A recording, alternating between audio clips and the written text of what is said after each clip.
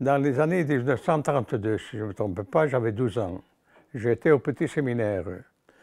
C'était un après-midi, à l'heure de la récréation. Je vois sortir un prêtre sur le grand portail de l'établissement du petit séminaire à Horst, et c'était lui. Une soutane abîmée, un homme qui nous regardait, tranquille. Il était tout seul. J'ai été impressionné de voir cet homme tout seul.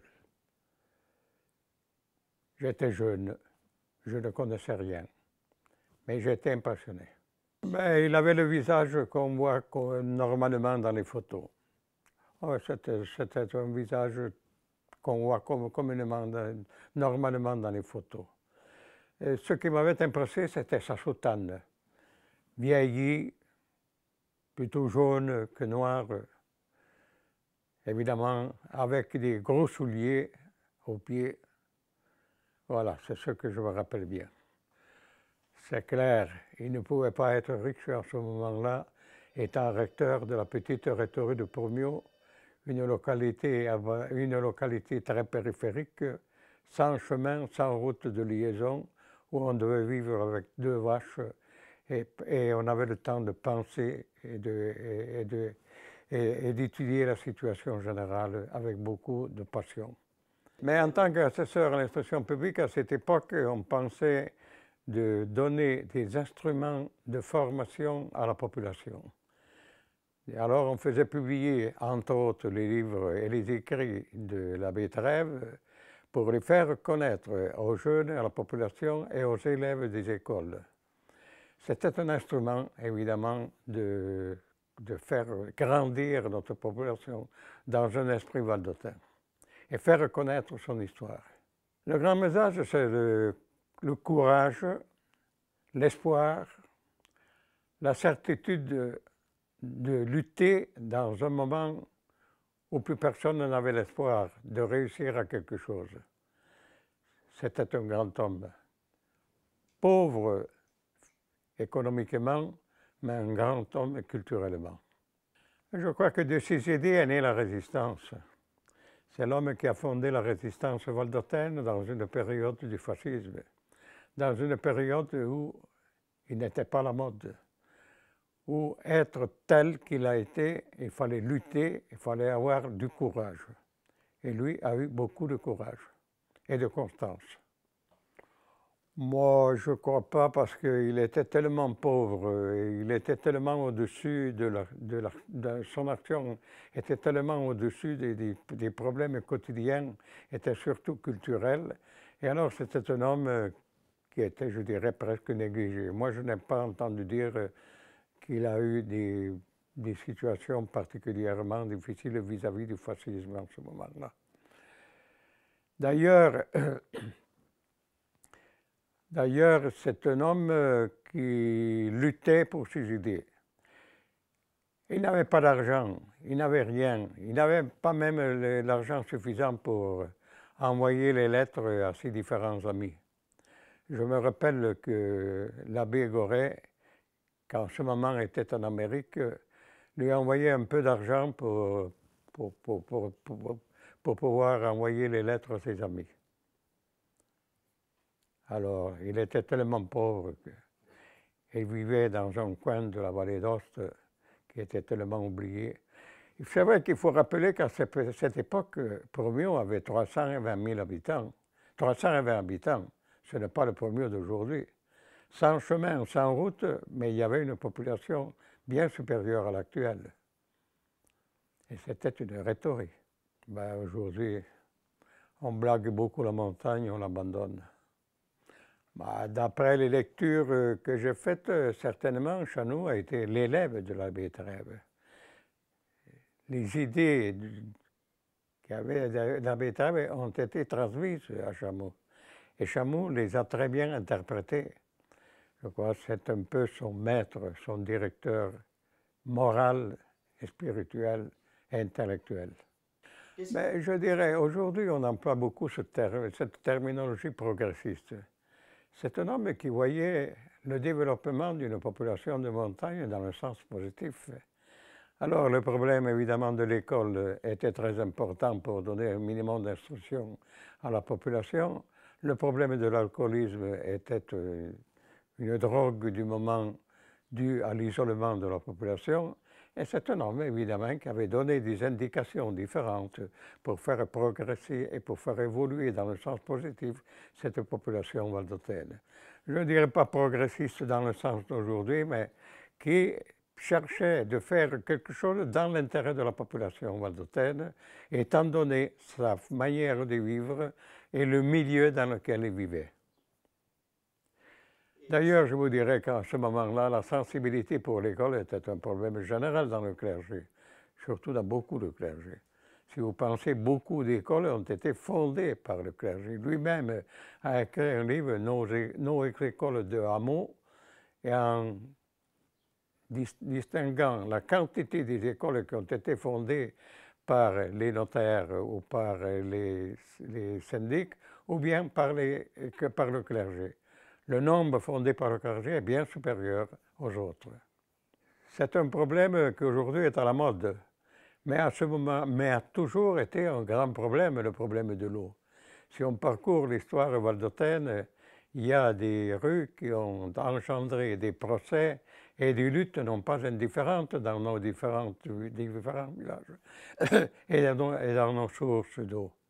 Alors le problème de l'eau a toujours été un gros problème pour la vallée d'Ost. Région sèche, région qui d'ailleurs a une infinité de ruisseaux et de rues qui la traversent. Depuis le Moyen Âge, tout ça a été un grand intérêt et une grand, de grande nécessité de vie d'une population rurale.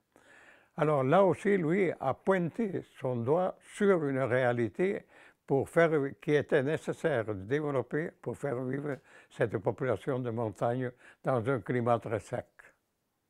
C'est très difficile de répondre. J'essayerai de dire quelques impressions personnelles.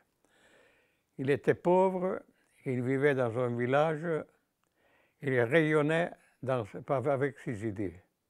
Il croyait à ses idées. Il ne croyait pas l'argent. L'argent était un instrument pour faire circuler des idées qui pouvaient servir et faire grandir et progresser cette population. Et il aimait son pays. Et il le chérissait. Et il travaillait pour lui. Je le rappelle comme ça de temps à autre qui circulait à Châtillon dans, la petite cantine des Trois-Rois, mais très, très génériquement. Nous sommes tous les élèves du temps que nous vivons. Le temps où l'abbé Trèves agit, c'était le temps du fascisme. C'était le temps de la dictature. C'était le temps, naturellement, des idées du pire nationalisme italien. Il ne pouvait pas avoir de grosses sympathies. Parce que malheureusement, les grandes majorités suivent la mode du moment et lui était contre la mode, était contre le pouvoir du moment. Il n'avait pas de grosses amitiés, mais il avait quelques amitiés vraies, très peu, mais il les avait. Par exemple, Gorée, qui était en Amérique,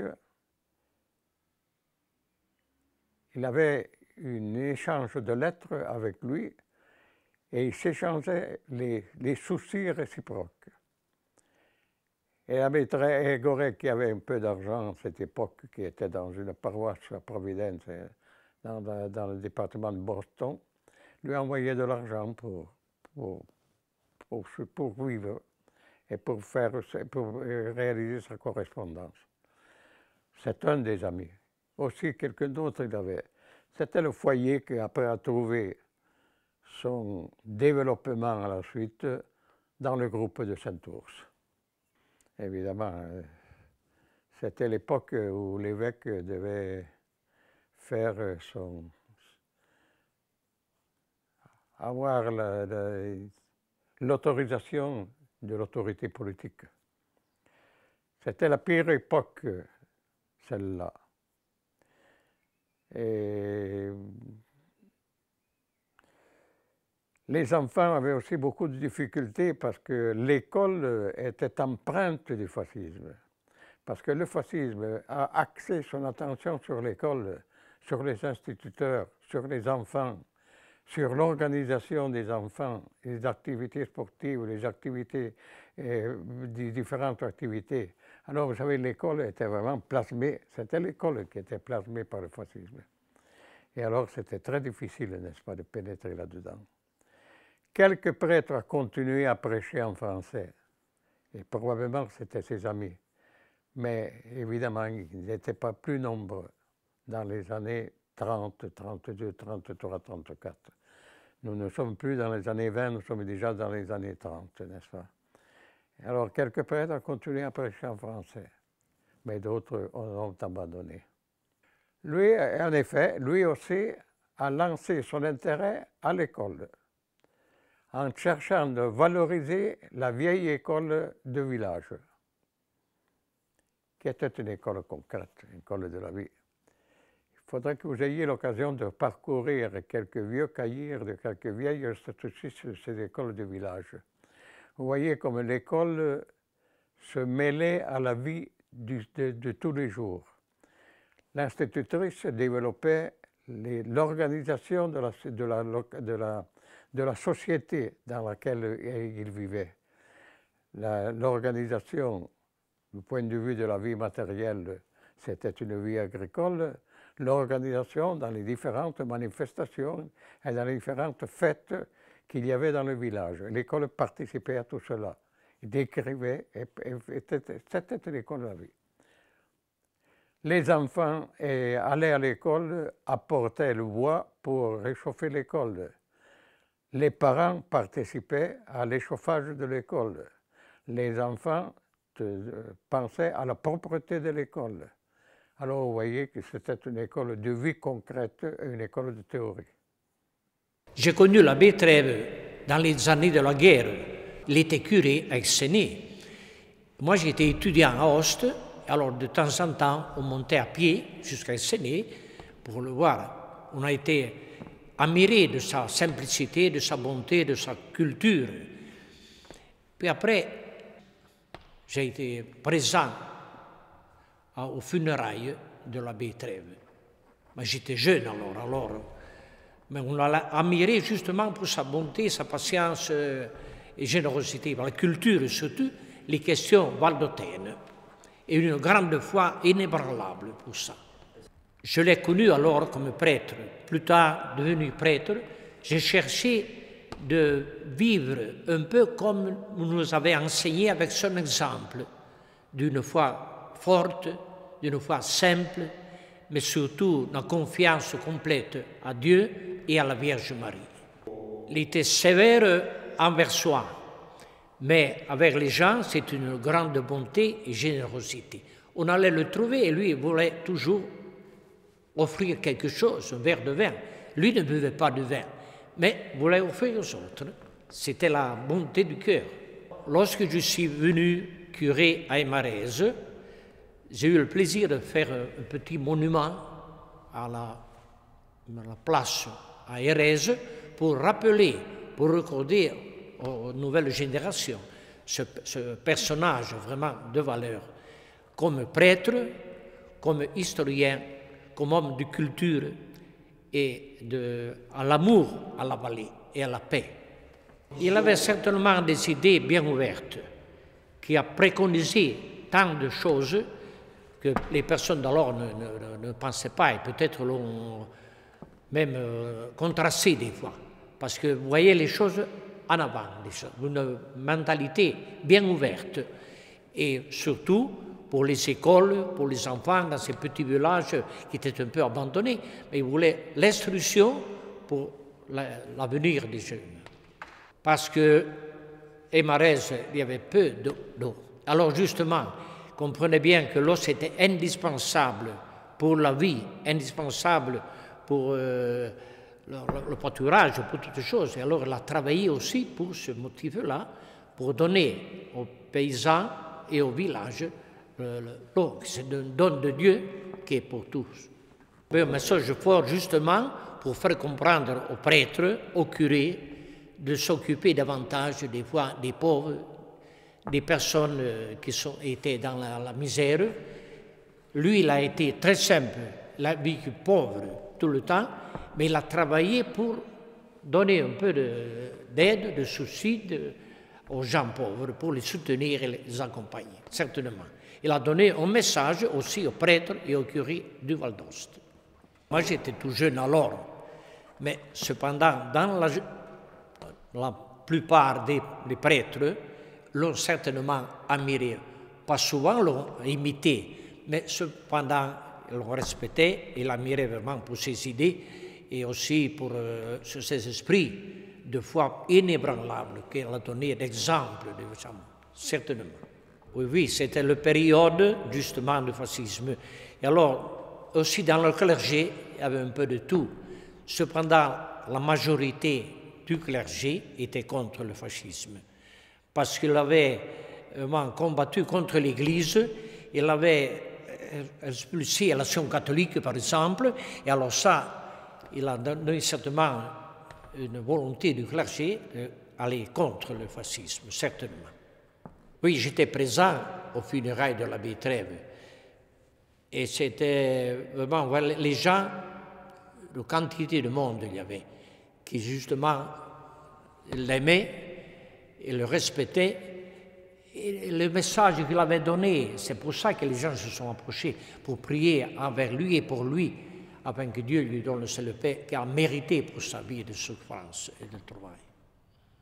Bon, l'abbé Trèves euh, était un personnage vraiment particulier, un personnage complexe, un personnage complet un personnage qui représente très bien euh, l'histoire de la vallée d'Os d'une période particulière et encore plus représente ce qui est l'esprit de la population du Val d'Ost, de la population des petits villages du Val d'Ost, de la population des Maraises, on peut dire. Il était un personnage donc qui a fait un tas de choses dans sa vie, même si parfois on étudie seulement quelques-unes, on prend pas euh, on regarde pas complètement tout ce qu'il a vraiment pensé, tout ce qu'il a vraiment écrit, quels étaient vraiment tous ses idéaux. Une personne complète, une personne vraiment particulière. Il était un prêtre, donc euh, les idéaux religieux, les idéaux de la, de la vie religieuse, euh, son amour pour Dieu. Il était un homme dont son amour pour les âmes, pour le peuple, pour son village, pour les gens du village, il était un Valdotin, et donc ses idéaux particuliers pour la vallée d'Ost. Il était un, Valdotin qui euh, aimait sa langue, qui aimait sa patrie, qui aimait sa vie, et dont toutes ses idéaux sur le maintien de la langue française. Il était un homme qui euh, étudiait le passé pour mieux comprendre son présent. Et il avait aussi des grands idéaux pour le futur. Il était donc une un personnage vraiment, euh, on pourrait dire, énorme. Énorme dans tous ses idéaux. Bon, évidemment,